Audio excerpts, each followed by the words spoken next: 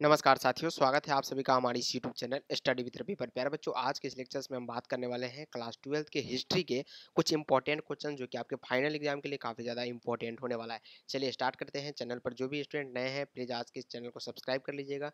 Video को like करके channel को एक बार शेयर कर दीजिए वीडियो को ताकि सभी स्टूडेंट जुड़ जाएँगे और अपनी यहाँ पे तैयारी को आजमा सकेंगे। पहला नंबर सवाल की ओर चलते हैं फटाफट से और पहला नंबर सवाल क्या पूछा गया है? ध्यान देंगे कि अल बरूनी किसके साथ जो है भारत आया था? ये सवाल आपसे पूछे जा रहे हैं पहला नंबर क्वेश्चन टाइम वेस्ट बिल्कुल भी नहीं करेंगे, सिर्फ़ क्वेश्चन आंसर की बात करेंगे। अल बरूनी जो है ये किसके साथ जो है भारत आया था तो याद रखेंगे, मोहम्मद गजनबी के साथ याद रखिएगा। मोहम्मद गजनबी ऑप्शन नंबर यहाँ पे यहाँ पे बी क्या होगा? बिल्कुल इस प्रश्न का राइट आंसर होगा। आंसर भी इस पीडीएफ में इंक्लूड कर दिया गया क्योंकि अब आपका ये फाइनल टेस्ट हो रहा है और फाइनल एग्ज़ाम के लिए क्वेश्चंस दिए जा रहे हैं तो सभी क्वेश्चंस में आपको आंसर इंक्लूड किए जाएँगे ताकि आपका डिस्टर्ब ना हो और आप जो है लगातार इसका प्रैक्टिस कर सके। अगला नंबर सवाल है कि इब इब्द तूता जो है किस देश के निवासी थे? थोड़ा नाम में डिफ़िकल्टी है, याद रखेंगे क्वेश्चंस को पढ़ने में थोड़ा डिफ़िकल्ट होता है, इस प्रकार के नाम थोड़ा हार्डेस्ट माने जाते हैं। तो इब्न बतूता किस देश के निवासी है? मिस्र का है, पुर्तगाल का है, मोरक्को का है या फ्रांस का है? तो याद रखेंगे मोरक्को ऑप्शन नंबर यहाँ पे सी जो होगा, इस प्रश्न का राइट आंसर होगा ऑप्शन नंबर सी। अगला नंबर सवाल क्या है कि इब्न बतूता ने अपने यात्रा का विवरण किस भाषा में लिखा था बताइएगा। अपने यात्रा का विवरण जो है, किस भाषा में लिखा था इन्होंने? तो तीन नंबर क्वेश्चन का क्या आंसर आ रहा है? फटाफट से आंसर जो है कमेंट बॉक्स में बताने का प्रयास कीजिएगा। वीडियो को शेयर करके और लाइक कर दीजिएगा। तो इब्न बतूता ने अपनी यात्रा का विवरण किस भाषा में लिखा था? तीन नंबर सवाल का जो जवाब आ रहा है, वो अरबी आ रहा है, जो कि बिल्कुल ऑप्शन नंबर डी होगा। अरबी याद रखिएगा option number D right answer होगा।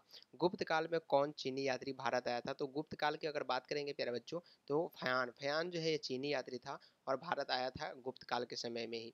अगला नंबर क्वेश्चन से पाँच नंबर सवाल क्या है कि दिल्ली से दौलताबाद किस शासक ने अपनी राजधानी परिवर्तित किया था? कहाँ से? दौलताबाद। कहाँ से? दिल्ली से। दिल्ली से दौलताबाद ने किस शासक ने अपनी राजधानी परिवर्तित किया? बलबन ने, मोहम्मद तुगलक ने या अलाउद्दीन खिलजी अकबर? तो याद रखेंगे मोहम्मद तुगलक। मोहम्मद तुगलक याद रखिएगा। ऑप्शन नंबर यहाँ पे बी जो होगा, इस प्रश्न का राइट आंसर होगा option number B next question की अगर चले? तो काफ़ी इंपॉर्टेंट क्वेश्चन से ध्यान देंगे। इस प्रकार के प्रश्न जो है आपसे बार बार पूछे जाते हैं और 100 परसेंट जो है इस बार भी पूछे जाने की संभावना बनती है। छः नंबर सवाल है, वास्को डिगामा कब भारत पहुँचा था? ये सवाल लाजवाब है और इसका आंसर तो आपको बताना लाजमी बनता है। छः नंबर क्वेश्चन को आप एकदम बारीकी से देखेंगे, इस प्रकार के प्रश्न जो है काफ़ी ईजी माने जाते हैं और आपसे पूछे भी जाते हैं, वास्को डिगामा जो है कब भारत पहुँचा था? तो ये सत्रह मई चौदह सौ अंठानवे याद रखिएगा, सत्रह मई चौदह सौ अंठानवे को वास्को डिगामा जो है ये भारत में प्रवेश किया था। Option number A, right answer होगा। अगला नंबर सवाल है कि भारत ने जिन तीन भाषाओं के ग्रंथ की अरबी भाषा में हुए अनुवादों से अलबरूनी परिचित था, वह थी, वो कौन कौन सी भाषा से भाषा थी? तो याद रखिएगा संस्कृत जो कि हमारी प्राचीन भाषा मानी जाती है, पाली एवं प्राकृतिक। ऑप्शन नंबर यहाँ पे ए जो होगा, इस प्रश्न का राइट आंसर होगा। और ये सभी के सभी क्वेश्चंस मैं बता रहा हूँ, आपके लिए काफ़ी ज़्यादा इंपॉर्टेंट है।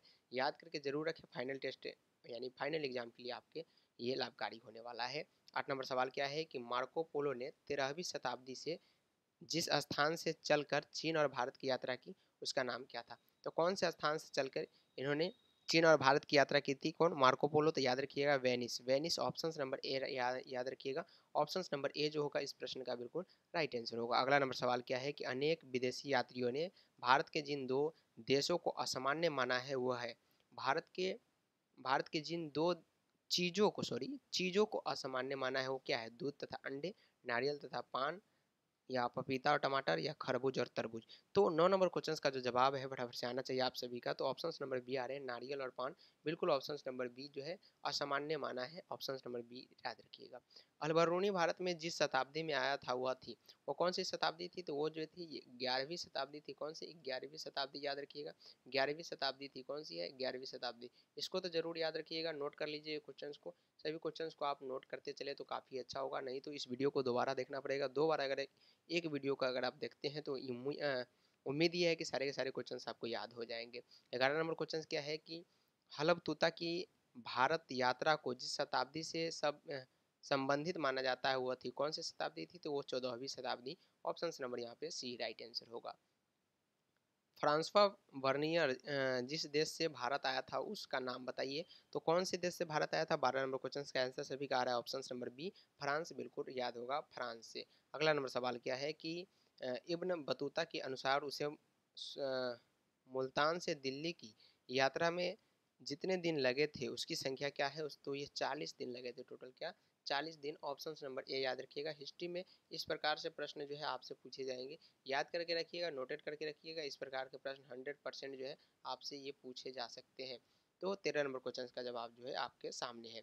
चौदह नंबर सवाल की ओर अगर बढ़े तो काफ़ी इंपॉर्टेंट क्वेश्चन है। चौदह नंबर सवाल क्या है? मोहम्मद बिन तुगलक ने दिल्ली की काजी नियुक्ति किया था। मोहम्मद बिन तुगलक ने दिल्ली के काजी नियुक्ति किया था किनको अलबरूनी को या इब्न बतूता को, वर्नियर को या अब्दुरज्जक्का को? तो याद रखिएगा, इब्न बतूता ऑप्शन नंबर यहाँ पे बी जो होगा, बिल्कुल इस प्रश्न का राइट आंसर होगा। मध्य एशिया के रास्ते होकर इब्न बतूता सन जो है 1333 में स्थल मार्ग से पहुँचा था। कहाँ पे पहुँचा था? तो ये सिंध पर पहुँचा था स्थल मार्ग से। तो फटाफट से हम क्वेश्चन करा रहे हैं। टाइम वेस्ट आपका बिल्कुल भी नहीं हो रहा है तो एक लाइक और सब्सक्राइब तो बनता है। तहकीक ए हिंदी में किसकी यात्रा वृत्तांत लिखी है? तो तहकीक ए हिंदी में जो है, प्यारे बच्चों, ये अलबरूनी की यात्रा वृत्तांत लिखी है। Option number A hundred percent इसका राइट आंसर होगा। नेक्स्ट क्वेश्चन मेघास्थनीज कौन था? मेघास्थनीज कौन था प्यारे बच्चों? सत्रह नंबर सवाल है। एक प्रकार की राजदूत था। कौन है? राजदूत है मेघास्थनीज ऑप्शन नंबर सी याद रखिएगा। अठारह नंबर सवाल की ओर बढ़ते हैं, किताब जो है उर रेहला में किसकी यात्रा वृतांत मिलती है? तो ये इब्न बतूता की मिलती है। Option number C right answer होगा। भारत के डाक व्यवस्था का वर्णन अपने यात्रा वृतांत में कौन किया था? तो ये Ibn Battuta option number B right answer होगा। मॉन्टेरेस्क्यू नामक फ्रांसीसी दर्शकों ने किस यात्रा के विवरण के आधार पर फ्रांस निरंकुशवाद का सिद्धांत प्रतिपादन किया, ये बीस नंबर सवाल में आपसे पूछे जा रहे हैं। और वर्नियर इसका राइट आंसर होगा ऑप्शन नंबर ए और आज का ये लास्ट क्वेश्चन आपके स्क्रीन के सामने है। समरकंदी नामक यात्रा ने किसके यात्रा वृतांतों को पढ़ा और उससे प्रेरणा ली? तो ये जो है, इब्न बतूता की यात्रा वृत्तांत को पढ़ा और इससे प्रेरणा ली। मेरा बच्चों, इक्कीस क्वेश्चन हम लगातार सभी क्लास में कराते आ रहे हैं। और ये जो क्वेश्चन आपके फाइनल एग्ज़ाम के लिए काफ़ी ज़्यादा टचेबल हो सकता है सभी के सभी क्वेश्चन टच करने की उम्मीद रहती है आपके फाइनल एग्ज़ाम में। तो आज का ये लेक्चर इतना ही पर खत्म होता है। प्लीज़ एक बार लाइक, सब्सक्राइब, शेयर कर दीजिएगा और अगले क्लास के लिए कमेंट बॉक्स में फटाफट से बोल दीजिएगा कि कौन से सब्जेक्ट का, कौन से चैप्टर से आपका क्वेश्चन जो है चाहिए तो फटाफट से आपको मिल जाएगा अगले क्लास में। तो मिलते हैं फिर से अगले क्लास में, तब तक लिए इतना ही। Bye bye take care. जय हिंद जय भारत।